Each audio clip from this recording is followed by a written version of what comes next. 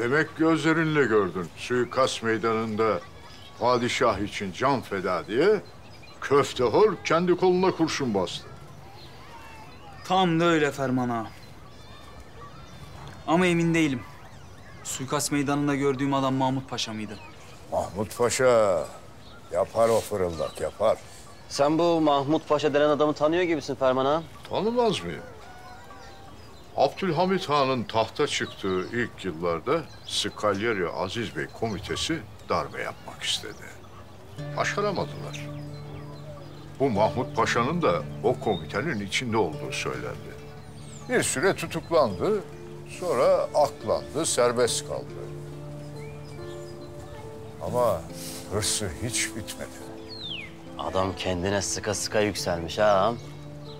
Ben silaha tövbe etmeden evvel Mahmut Paşa Ermeni, Rum, Yahudi hiç fark etmez.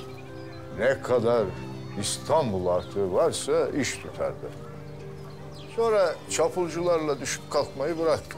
Zannımca kendine daha yağlı ortaklar buldu.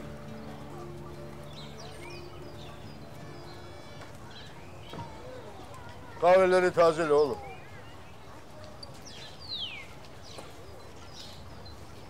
Gel. Lan oğlum burada Ferman ağa konuşuyor. Kulak versene biraz.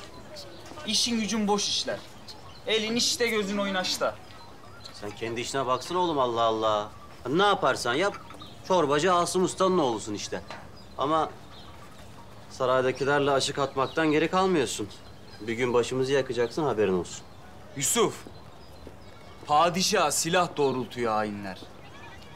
O namlunun ucundaki devletimiz, dinimiz, namusumuz. İyi de sen ben ne yapabiliriz ki? Kardeş bilmez misin? İşine mi gelmez? Efendimiz Aleyhisselatu Vesselam ne demiş? Yanlışı gördüğünüz yerde elinizle, elinizle yapamıyorsanız dilinizle, ona da gücünüz yetmiyorsa kalbinizle buğz edin. Ki bu da imanın en zayıf derecesidir. Dememiş mi? Demiş. Ben bu meseleyi çözmeden duramam. Adamın yüzünü hatırlamıyorum diyorsun. Yüzünü hatırlamıyorum ama kendi koluna sıktığını hatırlıyorum. Yürü, paşanın evine gideceğiz. Eğer kendine sıktıysa hekim falan uğruyordur bunun evine. Gidelim, gidelim de senin de saraya girmek için bahanen olsun değil mi? Bu sarayda başka işler peşinde ağam haberin olsun. Ne işleri oğlum? Vallahi ben bilmem. Kıza nasıl baktığını gördüm. Ferman ağam.